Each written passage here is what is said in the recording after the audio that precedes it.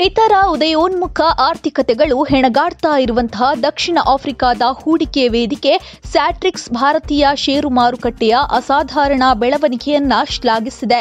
ಭಾರತೀಯ ಈಕ್ವಿಟಿ ಮಾರುಕಟ್ಟೆಗೆ ನಾಲ್ಕು ನಾಕ್ಷತ್ರಿಕ ವರ್ಷಗಳ ಬೆಳವಣಿಗೆಯಾಗಿದೆ ಎಂದು ಸ್ಯಾಟ್ರಿಕ್ಸ್ ಹೇಳಿಕೆಯಲ್ಲಿ ತಿಳಿಸಿದೆ.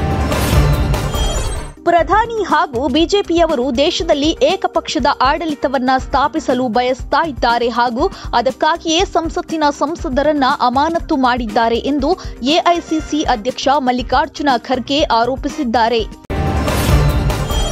ಸಂಸತ್ತಿನ ಭದ್ರತಾ ಉಲ್ಲಂಘನೆ ವಿಚಾರವಾಗಿ ಸರ್ಕಾರವನ್ನ ತರಾಟೆಗೆ ತೆಗೆದುಕೊಂಡಿರುವ ಕಾಂಗ್ರೆಸ್ ಮುಖಂಡರು ಅನಾಮಧೇಯರನ್ನ ಲೋಕಸಭೆಗೆ ಪ್ರವೇಶಿಸಲು ಅನುಕೂಲ ಮಾಡಿಕೊಟ್ಟ ಬಿಜೆಪಿ ಸಂಸದ ಪ್ರತಾಪ್ ಸಿಂಹ ಅವರನ್ನ ವಾರ ಕಳೆದ್ರೂ ಯಾಕೆ ವಿಚಾರಿಸಿಲ್ಲ ಎಂದು ಪ್ರಶ್ನಿಸಿದ್ದಾರೆ. ಅಧಿಕ ಲಾಭಾಂಶದ ಆಮಿಷ ಒಡ್ಡಿ ಸಾರ್ವಜನಿಕರಿಂದ ಇಪ್ಪತ್ತೈದು ಕೋಟಿಗೂ ಅಧಿಕ ಹಣವನ್ನ ಅಕ್ರಮವಾಗಿ ಹೂಡಿಕೆ ಮಾಡಿಕೊಂಡು ವಂಚನೆ ಮಾಡ್ತಾ ಇದ್ದಂತಹ ಇಬ್ಬರನ್ನ ಸಿಸಿಬಿ ಪೊಲೀಸರು ಬಂಧಿಸಿ ಏಳು ಲಕ್ಷ ಹಣ ದಾಖಲಾತಿಗಳು ಹಾಗೂ ಕಂಪ್ಯೂಟರ್ ಉಪಕರಣಗಳನ್ನ ವಶಪಡಿಸಿಕೊಂಡಿದ್ದಾರೆ.